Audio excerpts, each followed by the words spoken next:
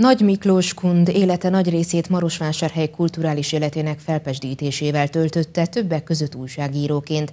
75. születésnapjára az elmúlt tíz év munkásságát felülelő könyvet mutattak be a Marosvásárhelyi Bernádi házban.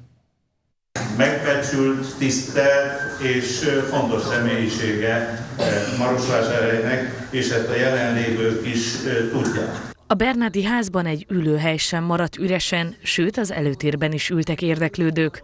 A könyvet Markó Béla költő méltatta, aki többek között kiemelte a szerző szépírói teljesítményét is. Itt van előttem és előttünk egy szép és vaskos kötet, tehát, tehát egy jelentős gyűjtemény, amely nem egy hosszú időszak, hanem tízesztendő interjúit, beszélgetéseit, tárcáit, jegyzeteit, publicisztikáit tartalmazza. Felemás. Ezt a címet kapta Nagy Miklós Kund legújabb könyve. A több mint 300 oldalas könyv nem mindennapi tartalommal rendelkezik.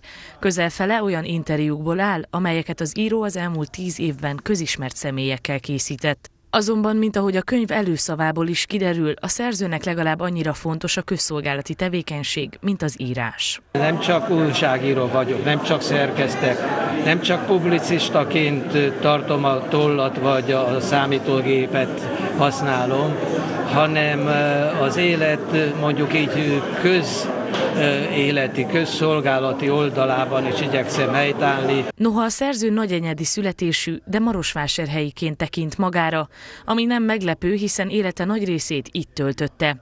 1968 után dolgozott a Marosvásárhelyi Rádióban, de volt a Népújság napilap főszerkesztője is. A Marosvásárhelyi kulturális élet egyik mozgató rugója mai napig. Eseményeket, fotókiállításokat, könyvbemutatókat és tárlatokat köszönhetünk töretlen tenni akarásának.